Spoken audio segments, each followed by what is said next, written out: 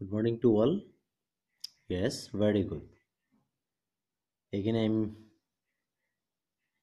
going to discuss our another chapter. Okay? Yes. Yes, my dear students, I'm your English teacher Pankaj Barua. Today we are going to discuss one of greatest person and one of renowned scientist and his name? Yes his name is albert einstein. Okay? Open your textbook? Yes. Uh, today we are going to discuss about one new chapter. And its name what? A truly beautiful mind. Okay? Open or not? Yes very good. Then first of all today i am going to read. Not like only read simultaneously i am also like explain it. Okay? Just like paragraphs.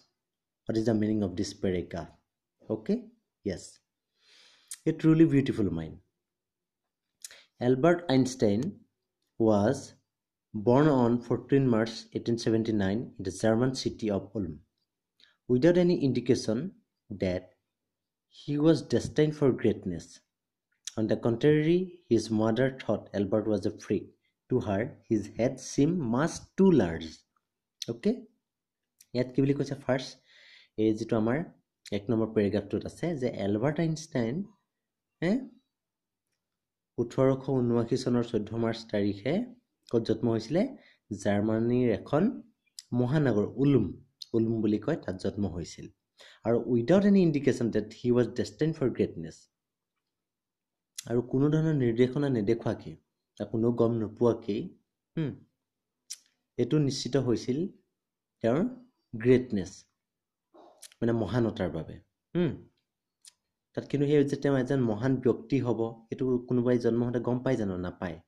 সেই Albert Einstein জন্ম হওঁতে কোনেও গম পোৱা নাছিলে যে এজন মহান ব্যক্তি ইয়াত জন্ম হৈছে বা তেওঁ ইয়ালৈ আহিব বুলি। Okay yes on the contrary his mother thought Albert was a freak তাৰ বিপৰীতে কিন্তু এলবাৰ্ট আইনষ্টাইনৰ মাকে কি বুলি ভাবিছিলে যে এলবাৰ্ট ই সাধাৰণ ল'ৰা ছোৱালীৰ দৰে নহয় ই অলপ তাৰ আচৰণবিলাক বেলেগ।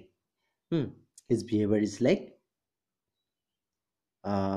not like familiar okay freak means what a word use disapprovingly disapprovingly to talk about a person who unusual and does not behave look or think like others. Okay? ইয়াত মানে কি কৈছে? যে ফ্ৰিক মিনছ ইয়াত লিখাই আছে ফ্ৰিকত যে freak মানে যি আমাৰ সাধাৰণ মানুহৰ দৰে ব্যৱহাৰ বা তেওঁৰ ৰেচপণ্ড নকৰে। তেওঁৰ মেনাৰ্ছবিলাক আমাৰ দৰে নহয় তেওঁৰ ব্যৱহাৰ বা বিহেভবিলাক আচৰণবিলাক অলপ বেলেগ ধৰণৰ। Okay to her his head seem much too large আৰু মাকে এইটো কি কৈছিলে? যে মূৰটো যথেষ্ট ডাঙৰ বুলি কৈছে। মগজুটো বা মগজটো আমাৰ এই মূৰটো কিন্তু এলবাৰ্ট আইনষ্টাইনৰ মূৰটোৰ কথা কি বুলি কৈছে? যথেষ্ট ডাঙৰ বুলি কৈছিলে। Okay point number two at the age of two and and a half Einstein still was not talking okay he finally did learn to speak, he uttered everything twice. Einstein did not know what to do with other children and his playmates called him brother boring. Okay ইয়াত কি বুলি কৈছে? যেতিয়া আঢ়ৈ বছৰ হৈছে আঢ়ৈ বছৰ হওঁতে আইনষ্টাইনে আঢ়ৈ বছৰ বয়সলৈকে কথাই ক'ব পৰা নাছিলে। তোমালোকেতো ডেৰ দুবছৰতে মাত লওঁ ডেৰ বছৰ এক বছৰতে তোমালোকৰ মাত ফুটিছিলে হয়নে নহয়? কিন্তু আইনষ্টাইনৰ কি হোৱা নাছিলে আঢ়ৈ বছৰলৈকে মাত ফুটা নাছিল। আৰু যেতিয়া কথা ক'বলৈ শিকিলে মাত ওলালে। কিন্তু তেতিয়া কি কৰিছিলে? প্ৰায়ে কি হৈছিলে? হি উটাৰ এভৰিথিং টুৱাইচ আৰু প্ৰায় দুবাৰ দুবাৰকৈ একেটা শব্দকে তেওঁ দুবাৰ দুবাৰকৈ উচ্চাৰণ কৰিছিল। যেনেকৈ মই মই বুলি ভাত ভাত বুলি তেওঁ দুবাৰ দুবাৰকৈ প্ৰনাউঞ্চিয়েশ্যন কৰিছিল। অ'কে তেনে ইয়াত কি কৈছে? আৰু আইনষ্টাইনে কিন্তু জনা নাছিলে যে বেলেগ একে ল'ৰা ছোৱালীবিলাকৰ লগত কি কৰিব লাগে? আৰু সেইটো কাৰণে আইনষ্টাইনৰ লগৰীয়া ল'ৰা ছোৱালীবিলাকে কি কৰিছিলে তেওঁ ব্ৰাদাৰ বৰিং এই তোমালোকে যে কোৱা এই ছাৰ আজি বৰিং লাগিছে। মানে আমনি লাগিছে যে কৈছিলে এই ভাই ব্ৰাদাৰ মানে ভাই বাই দাদাটোক কি বুলি কৈছিলে বৰিং আমনিদায়ক বুলি কৈছিল। Okay so' the youngster played by himself so' the youngster played by himself much of the time he specially loved mechanical toys looking at his newborn sister maza he said to have said fine but where are where are her wheels okay ইয়াত কি বুলি কৈছে যে সেইকাৰণে বেছিভাগ য়ংষ্টাৰখিনিয়ে সৰুখিনিয়ে কি কৰিছিলে বেছিভাগখিনি কি কৰিছিলে প্লেড বাই তেওঁলোকে সিহঁতে নিজে নিজৰ লগত খেল খেলিছিলে। আইনষ্টাইনৰ লগত খেল খেলিবলৈ বিচৰা নাছিল। তেতিয়া কি দেখা গৈছিলে? যে অ'কে তাত কি দেখা গৈছিলে? যে সি সেইকাৰণে আইনষ্টাইনে বেছিকৈ মেকানিকেল পুতলাবিলাক মেকানিকেল বস্তুবিলাক ভাল পাইছিলে। আৰু যেতিয়া নিজৰ নতুনকৈ জন্ম হোৱা ভনীয়েকজনী মাজা তাইৰ নামটো কি আছিলে? মাজা। মাজাৰ লগলৈ চাইছিলে মাজাৰ লগত কথা পাতিব বিচাৰিছিল তেতিয়া কৈছিল অঁ বঢ়িয়া। But where where are her wheels কিন্তু আইনষ্টাইনে জনা নাছিলে যে মানুহে ভৰিয়ে খোজকাঢ়ে আইনষ্টাইনে ভাবিছিলে পুতলাৰ যেনেকৈ যদি কি থাকে পুতলাৰ চকা যদি থাকিলে যাব পাৰে চাবিটো লগাই দিলে। ভাবিছিলে মোৰ এই ভণ্টিজনীৰ চকাকেইটা ক'ত গ'ল? ক'ত গ'ল? হাঁহি উঠা কথা হয়নে নহয়? অঁ।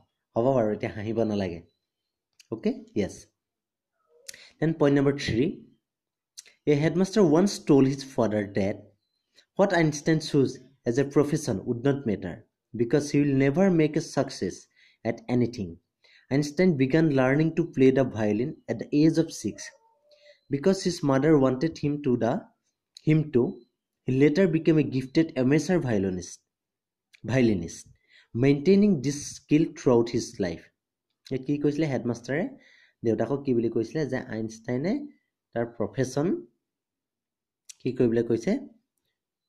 প্ৰফেশ্যন কি হ'ব? ই উড নট মেটাৰ প্ৰফেশ্যনটো ডাঙৰ কথা নহয়। কাৰণ সি একোৱেই নাজানে। সেই একো ভৱিষ্যতে একো কৰিব নোৱাৰে বুলি কোনে কৈছিলে? স্কুলৰ হেডমাষ্টাৰে কৈছিলে।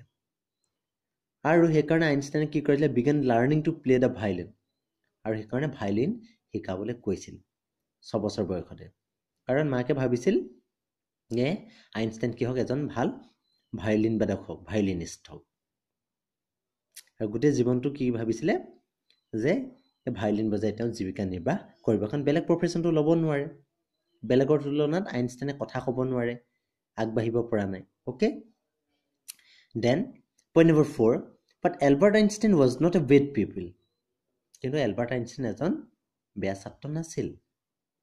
হি one to high school in Munich আৰু ক'লৈ গৈছিল মিউনিকত হাইস্কুল পঢ়িছিল। Where Einstein family had move when he was fifteen months হ'ল আৰু আইনষ্টাইনৰ পৰিয়ালটো যেতিয়া তাৰ পৰা মুভ কৰিলে তাৰ পৰা বেলেগ খাতি কৰিলে কি হৈছিলে? পোন্ধৰ মাহ হৈছিলে। Einstein and score good marks in almost every subject আৰু প্ৰতিটো ছাবজেক্টতে বা বিষয়তে ভাল নম্বৰ পাইছিল। পাইছিল। Einstein hated the school's regimentation over and often clash with is teachers আৰু আইনষ্টাইনে প্ৰায়ে কি কৰিছিলে? স্কুলৰ যিটো ৰেজিমেণ্টেশ্যন মানে ৰুল ৰেগুলেশ্যন তোমালোকে যেনেকৈ ৰুল ৰেগুলেশ্যন বেয়া পাওঁ আমি কিবা ক'লে নহয় জানো? বেয়া পাব নালাগে সেইবিলাক আমি তোমালোকৰ ভালৰ কাৰণে কওঁ গম পাইছানে? সেই ৰুল ৰেগুলেশ্যনবিলাক কিন্তু আইনষ্টাইনে বেয়া পাইছিল। আৰু সেয়ে প্ৰায় কি কৰিছিলে টিচাৰ শিক্ষক শিক্ষয়িত্ৰীৰ লগত কি কৰিছিলে আৰ্গুমেণ্ট কৰিছিল। ক্লেছ সংঘৰ্ষ বা যুদ্ধ কৰাৰ কথা কোৱা নাই আৰু যুঁজ লগাৰ কথা কিন্তু ইয়াত কি কৈছে যে আৰ্গুমেণ্ট তৰ্ক বিতৰ্ক কৰাৰ কথা কৈছিল। At the age of fifteen Einstein fell so' shifted there that he লেভ দ্য স্কুল ফৰ গুড আৰু পোন্ধৰ বছৰ বয়সত সেইকাৰণে আইনষ্টাইনে কি অনুভৱ কৰিলে? যে নট লাইক চিফটেড দেই ষ্টিফেল ষ্টিফ ষ্টিফেল মানে কি ক'লে? যে ইয়াত আৰু তেওঁ উশাহ লৈ থাকিব নোৱাৰে। ষ্টিফেল মিনছ হোৱাট মানে একদম পূৰা বান্ধোনত থকাৰ নিচিনা। যে ইয়াৰ ইয়াত বৰ বান্ধোন কটকটীয়া। যে ইয়াৰ পৰা মই কি কৰিব লাগিব? স্কুল ত্যাগ কৰিলে মোৰ কাৰণে ভাল হ'ব বুলি কোনে ভাবিছিল? আইনষ্টাইনে ভাবিছিল। অ'কে আজিলৈ ইমানেই হ'ব। আমি কাইলৈ আকৌ আলোচনা কৰিম কাৰণ আমাৰ যিহেতু এইটো অনলাইন ক্লাছ আমাৰ ইউটিউবত তোমালোকক মই আপলোড কৰিব লগা হৈছে সকলোখিনি আপলোড কৰিব নোৱাৰোঁ একেলগে। এতিয়া মই কি কৰিম তোমালোকে ইয়াৰ যিকেইটা গুৰুত্বপূৰ্ণ শব্দ অৰ্থ এইকেইটা কৈ দিম তোমালোকে লিখি ল'বা নিজৰ কপিত অ'কে ডেষ্টাইন ডেষ্টাইন মানে ডেষ্টিনি ইয়াত চাৰ্টেইন চাৰ্টেইনিটিৰ কথা হৈছে ডেষ্টিনিৰ কথা মানে ভাগ্যৰ কথা হৈছে contrary means what like opposite বা বিপৰীত। অ'কে ইউটাৰ্ড আউটাৰ বা মষ্ট ৰিম'ট আউটাৰ মানে এই আমাৰ ঘৰৰ বাহিৰৰ আউটাৰ ৱৰ্ল্ড বুলি ক'ব পাওঁ বা বৰ্হি জগত বুলি। অ'কে বৰ বেছি দুৰ্গম অঞ্চলক ইউটাৰ্ড বুলি কওঁ। হুইল মানে চক্ৰ চাৰ্কুল ঘূৰণীয়াকৈ যায় অ'কে দেন প্ৰফেশ্যন মিনছ পেচা বৃত্তি যে আমাৰ প্ৰফেশ্যন কি বুলি যদি তোমালোকৰ মা দেউতাই সুধে আমি কি ক'ম য়েছ আমাৰ প্ৰফেশ্যন য়েছ টিচিং শিক্ষকতা নহয় জানো? Yes M S R M S R মানে অপেচাদাৰী। মানে সেইটো কোনো প্ৰেক্টিকেল মানে প্ৰফেশ্যন হিচাপে নলয় পেচা হিচাপে নলয় বৃত্তি হিচাপে নলয় regimentation it means like not like only influence also' it it's it's like what like is a rule and regulation of like the government or like any institute okay or like any offices or the state ya nation okay class means like argument সংঘৰ্ষ তৰ্ক বিতৰ্ক কৰা prolong means like lengthy in duration prolong মানে বৰ কি বুলি ক'ম তোমাক দীঘলীয়া দীঘলীয়া হৈ যায় বুলি যে কয়। অ'কে ৱালাৰ্ছ মিনছ টাফ কঠিন। মষ্ট মিনছ বিয়াৰ্ড অ'কে আজিলৈ হ'ব এইখিনি তোমালোকে কি কৰিবা? ৰিডিং দিবা ঘৰত ভালদৰে। তাৰপিছত আমি আকৌ নেক্সট কাইলৈ আলোচনা কৰিম। Okay thank you to all okay bye see you again bye